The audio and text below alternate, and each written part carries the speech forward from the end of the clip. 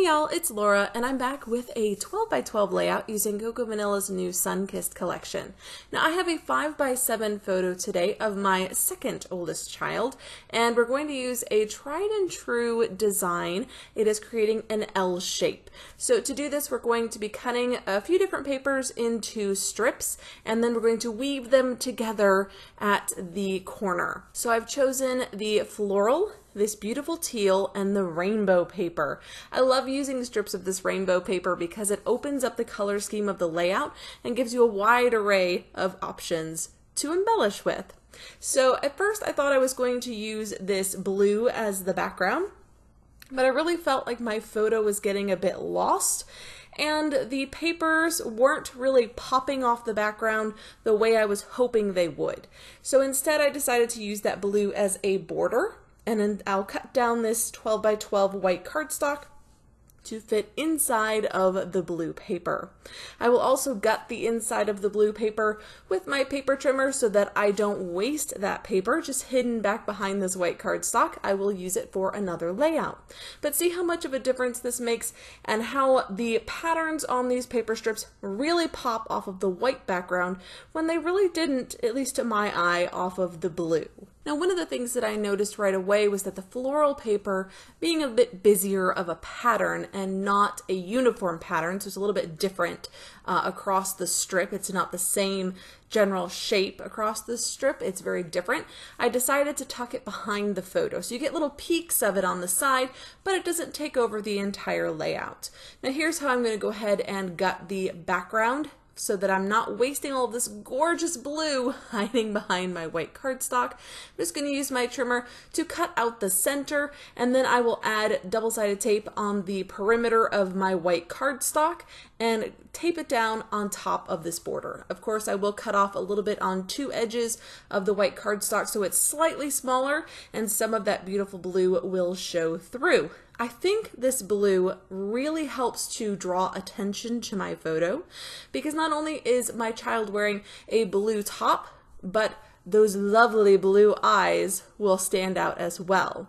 So I'm adding these strips along the left side first in the vertical and then I'll bring in the other set of strips and do a horizontal. So there's my L and by putting them slightly up it gives me a little bit of white space at the bottom and I really liked that open area.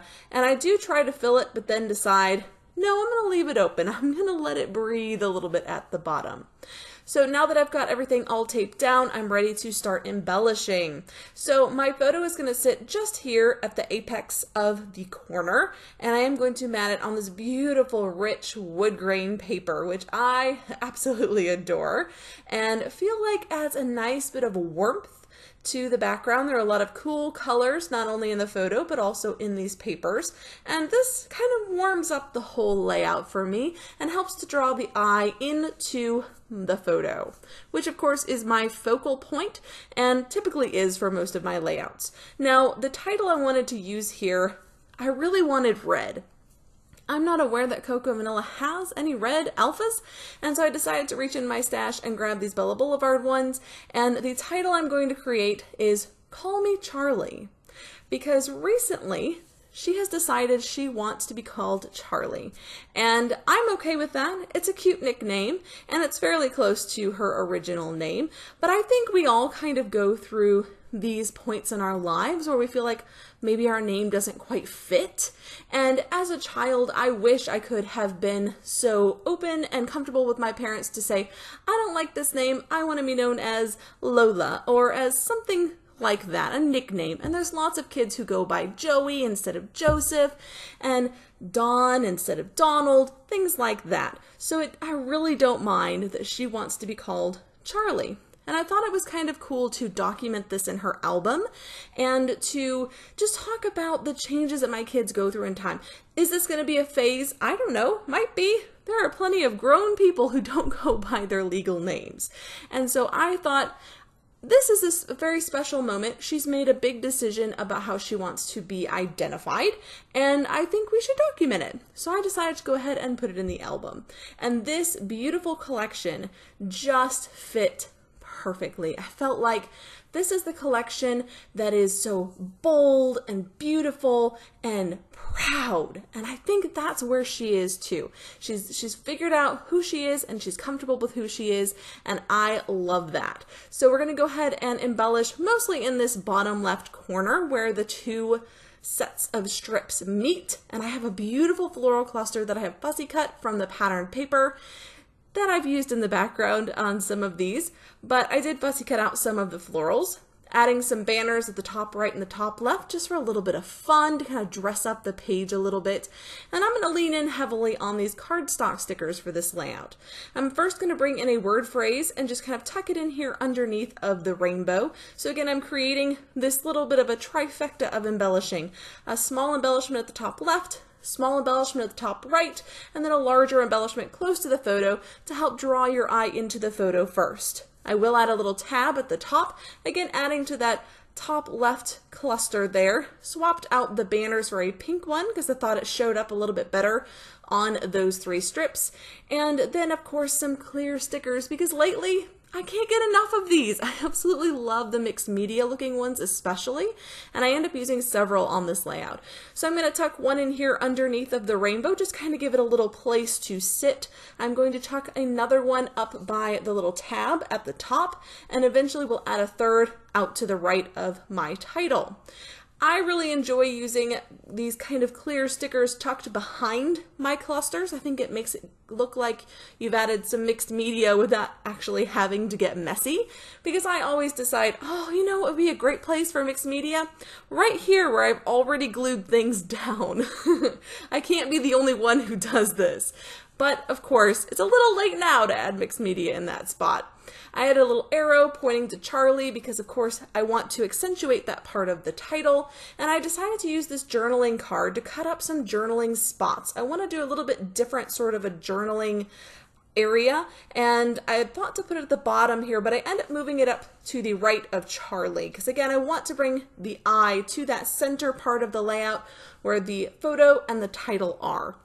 These are going to be cut up into little, they look like little paint swatches onto a pink background.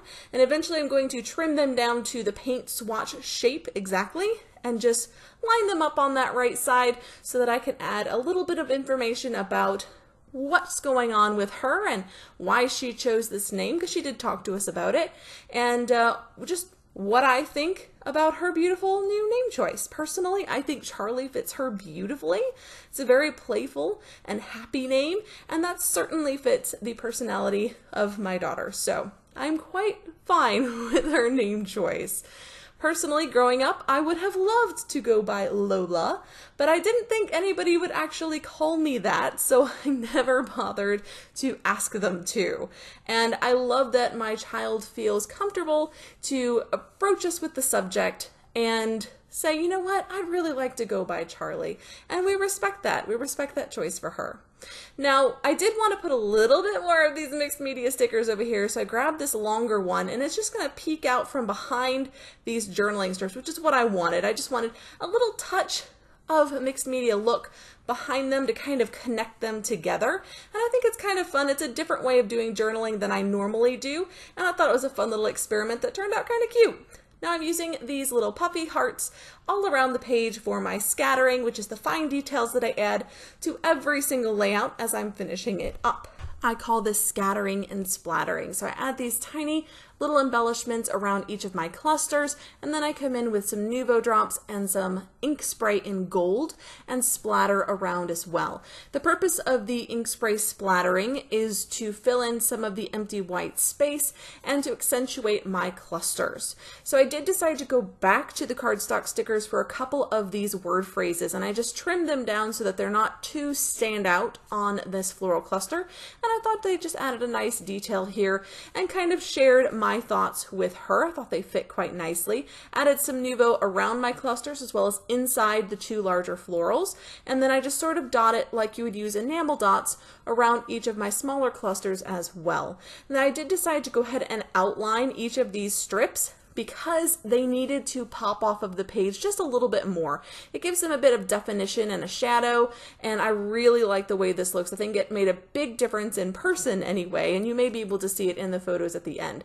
I made a small error though when I was creating my line, and so I did kind of do a faux stitching scratch out onto it and I don't mind the look of it. I think it looks intentional even though it really wasn't. And then I'll come in with my ink spray to splatter around the clusters and into the white space to the right. That's it for this layout. Stay tuned for the still photos and be sure to check out the blog post at cocoavanilla.com.au for more details and to see the photos up close. Until next time, bye guys!